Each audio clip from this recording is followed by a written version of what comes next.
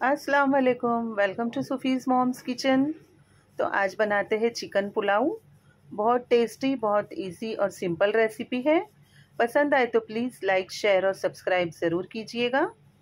तो चलिए recipe start करते हैं। मैंने यहाँ साढ़े सात सौ ग्राम चिकन लिया है। इसमें आधा कप दही ऐड कर लेंगे।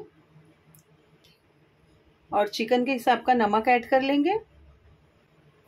और बस दही और नमक के साथ हमें चिकन को मैरिनेट करके रखना है।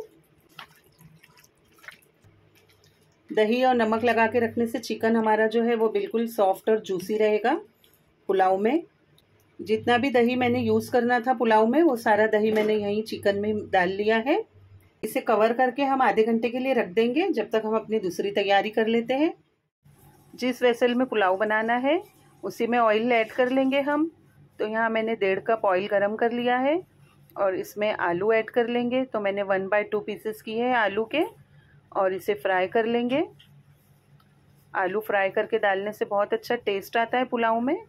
तो देखिए यहाँ आलू हमारे अच्छी तरह से गोल्डन हो चुके हैं। इसे निकाल लेंगे हम ऑयल से बाहर और फिर सेम ऑयल में कुछ खड़े गरम मसाले ऐड कर लेंगे। तो दो स्टार अनाइस है, एक चम्मच ज़ीरा है और दस बारह काली मिर्चें हैं, दो बड़ी इलायची और दो दालचीनी के टुकड़े। सारे मसाले ऑयल में ऐड कर लेंगे। इसी के साथ दो तेज़ पत्ते भी डाल लिए मैंने। मसालों के क्रैकल होते इसमें प्याज ऐड कर लेंगे। तीन प्याज मैंने इस तरह से लंबा कट कर लिया था। प्याज को फ्राई कर लेंगे। तो यहाँ देखिए प्याज हमारा फ्राई हो चुका है। अब ऐड कर लेंगे तीन चम्मच जिंजर गार्लिक का पेस्ट और डेढ़ चम्मच हरी मिर्चों का पेस्ट मिर्ची आप अपने पसंद के हिसाब से ले लीजिए। इसे चार पाँच मिनट के लिए भून लेंगे। तो यहाँ अच्छी तरह से भून चुका है हमारा अदरक लहसुन का पेस्ट। अब इसमें ऐड कर लेंगे मैरिनेट किया हुआ चिकन और इसी के साथ पाउडर मसाले ऐड करेंगे। तो दो चम्मच धनिया पाउडर है, एक चम्मच ज़ीरा पाउडर, एक चम्मच गरम मसाला पाउडर और एक चम्मच काली मिर्चों का पाउडर।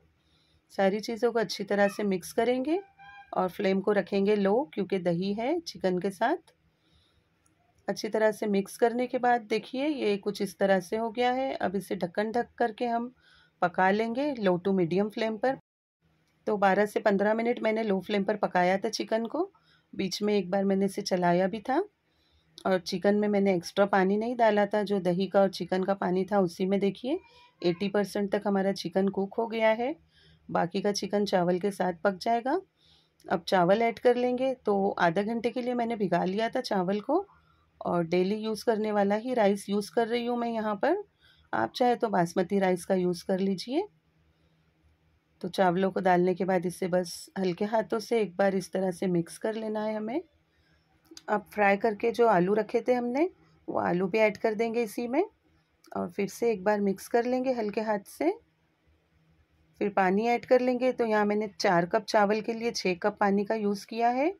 पानी थोड़ा गर्म करके ही डालना चाहिए पुलाव में, इस तरह से जब भी डालें तो। नमक ऐड कर लेंगे चावल के हिसाब का।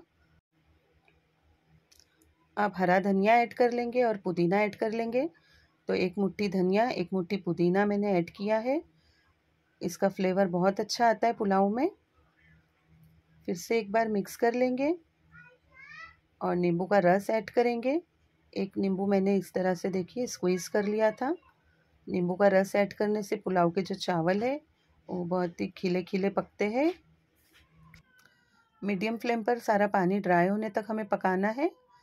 उसके बाद इसे कवर करके हम दम करा लेंगे।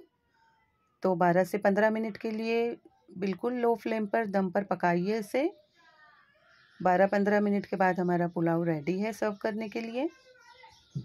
रेसिपी पसंद आई है तो प्लीज़ लाइक और शेयर कीजिए अपनी फैमिली और फ्रेंड्स के साथ। चैनल पर नए हो तो प्लीज़ चैनल को ज़रूर सब्सक्राइब कीजिए।